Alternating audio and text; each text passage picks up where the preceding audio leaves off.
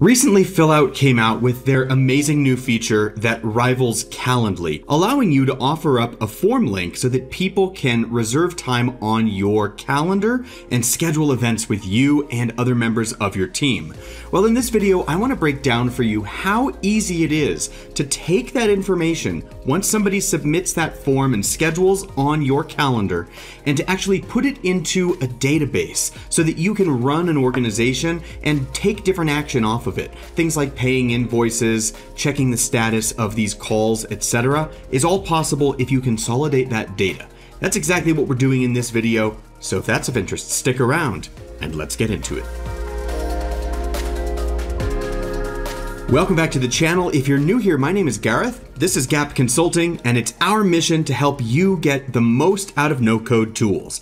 Fillout is one of our favorite no code tools, especially in the way that they have just unloaded this new feature unsuspectingly on us, and it's the new scheduler feature that we're going to be diving into again here with this video. But here we're going to be specifically talking about how we can integrate this data to a data source. In this case, we're going to be using Airtable, but you could be using any of the database backends that Fillout integrates so nicely with.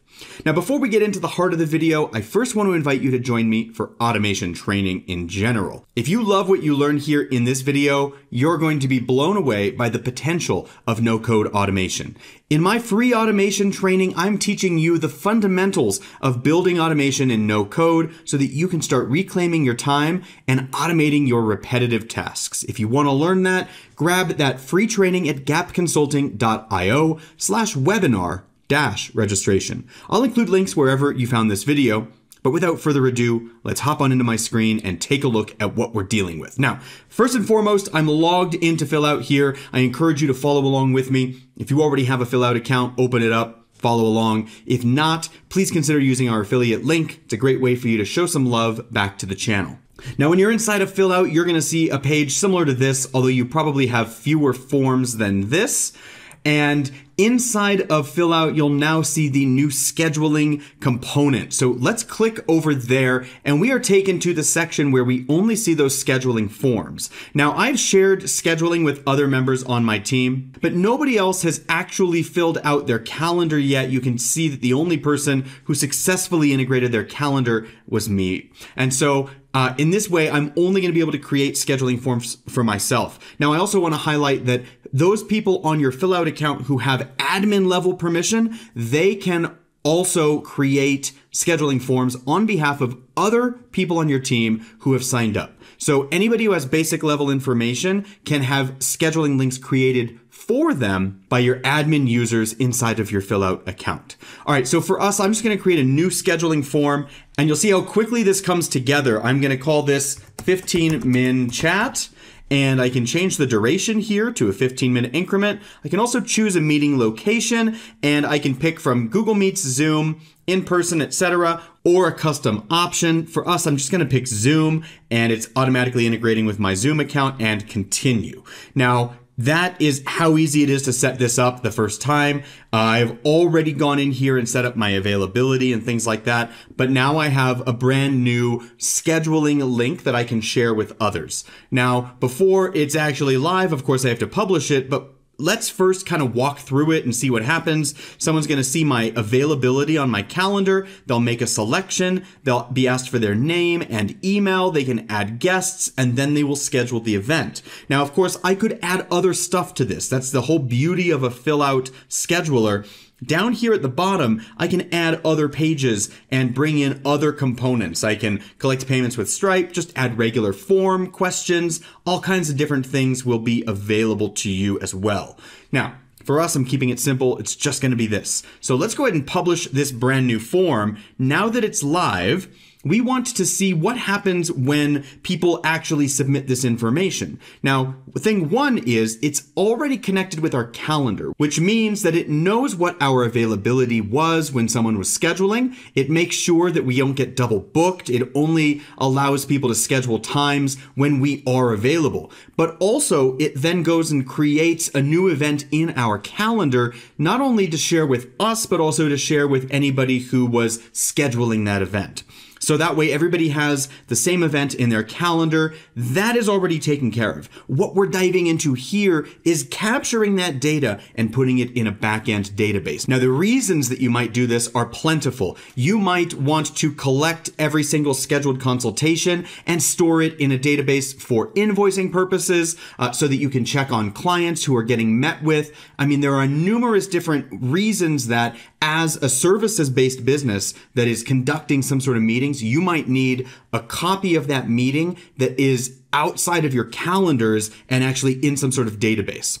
That's what we're doing right now. So let's flip into the next section here, which is integrations. And now we're going to do a search for whatever system we're using to store this information.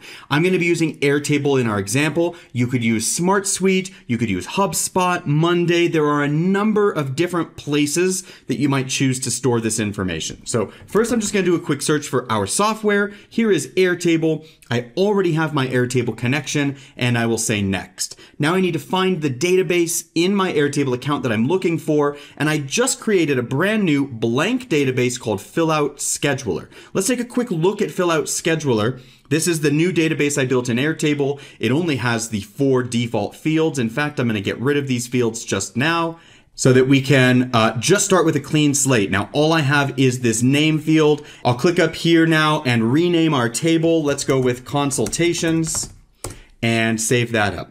So I have these three blank records, nothing in here yet. Flipping back now to Fillout, I can refresh this connection and it's going to see that one and only one table consultations. So now once I've connected this, it's going to ask me, what do you want to do with this information? Are you creating a new record when somebody submits the form? This is most common. Or are you updating an existing record? So in a case where you already had a consultation record there, you might have a separate form for people to fill out that allows you to update and change the dates or do other things of that nature. But for our example here, we are creating a new record when the form is submitted. So note that we can also prefetch records. We can pull information from Airtable when people are filling out the form and actually pre-fill some of the data in the form using the data that already lives in Airtable. So if we have somebody's email or name, they don't have to enter it in. We can fill out the form with that information when we prefetch. We're not doing that here. And we're not going into the advanced section either where we can prevent duplicates. So for us, we're just creating a record and then we need to map it to our Airtable base. So when the form is submitted, map it to Airtable. So, so simple. We just need to add the fields here. Now we only have our one Airtable field, but let's look at the different pieces of information that we have or that we will get from Fillout. There are URL parameters, yes, there are calculations we can look at, date utilities. What I really care about is diving into this right here. This is the data that we're getting when somebody fills out our form. It's an easy form for them to fill out. They're just picking a date and time that they want to meet. They're giving us a name and an email address. But look at all the information we get from this. The email itself, the event end and start time, the event URL, so where we're actually going to host that event, right? Uh, the full name of the person meeting, uh, meeting notes if they gave us a phone number, and in this case, the Zoom meeting link. So let's take a moment, we'll fast forward here and build all of these fields from Fillout over in Airtable.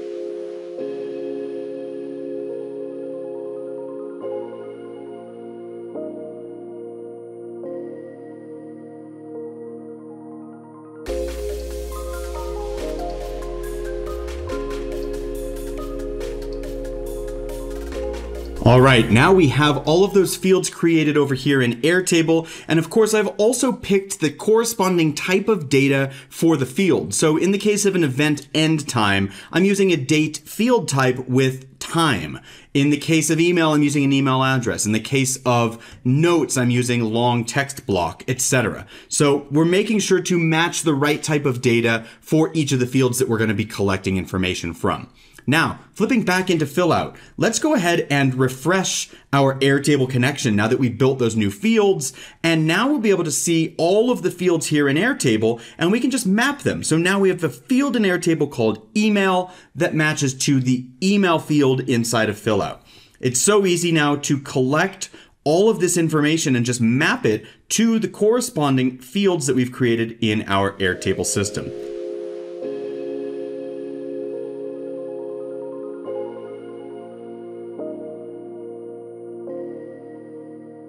Now we have all of our fields mapped. So when we receive this information in Fillout, it will automatically create a record in Airtable with the corresponding data in the appropriate place. Now, one other component to look at here is that we can set up some conditions. So we can only run the integration here when a condition is met. So we might say, for example, uh, we only want to do this if the email is from a certain domain or if it's a start time in a certain span of time, like certain dates or something along those lines. The takeaway is we can conditionally limit when this actually creates the record and when it does not. We're to assume that we want it to run in all conditions. So let's click up here and say finish setup and publish now. Now let's give this a test. We're to come back here and go to share. And on share, we can copy and or open this form in a new URL. This is the live version of the form that we just created. And you see here that people can schedule directly with us. I can make a selection for date and time, and it's to ask me for name and for email address.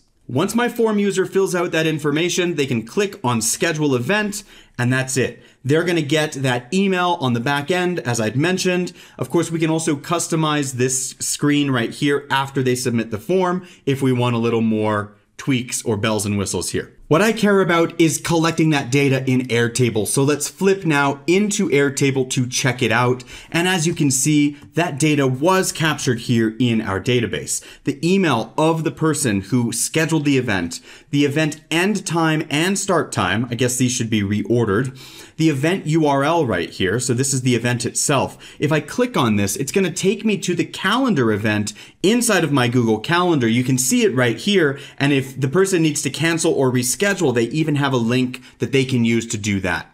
Now back into Fillout here, we see their name. This is what they gave us. We don't have any information from meeting notes or phone number as those questions were not on the form. And then most importantly, the actual place that the meeting is going to be held was also stored right here in Airtable.